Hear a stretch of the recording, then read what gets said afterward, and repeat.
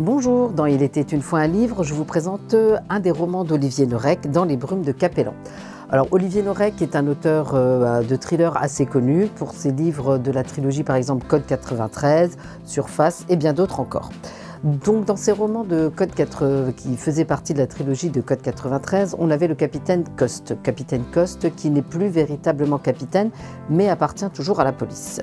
Alors notre ami Coste se retrouve maintenant sur l'île de Saint-Pierre où il a été plus ou moins exilé et habite une safe house. Alors une safe house, c'est une maison euh, dans laquelle euh, le capitaine peut euh, interroger et essayer de tirer un petit peu les verres du nez de différents criminels qui veulent se repentir.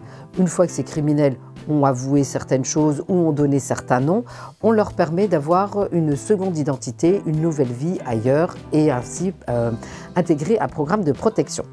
Ça, c'est pour la base.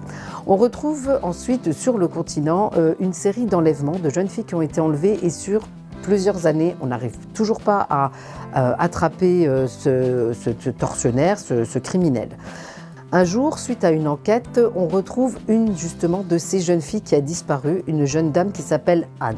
Elle a disparu depuis presque une dizaine d'années et on arrive à la retrouver, à la découvrir. Effectivement, euh, cette jeune fille est complètement mutique et on va essayer de euh, la faire parler, essayer de, lui demander des explications parce que c'est la seule qui va pouvoir aider à, bah, démasquer, à retrouver euh, ce criminel. Pour cela, on l'envoie sur l'île de Saint-Pierre et Miquelon. C'est là que les deux histoires se rejoignent. Elle rencontre pour rencontrer Coste et pour vivre avec lui et, euh, pour, pour que lui essaye justement euh, d'avoir les informations nécessaires pour arrêter ce criminel.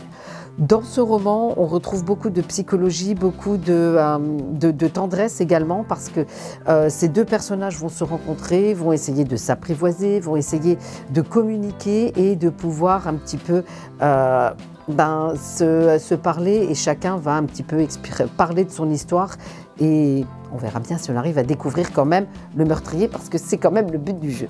Enfin voilà, donc un roman que je vous conseille, donc d'Olivier Norek dans les brumes de Capellan à retrouver à la médiathèque de Romba.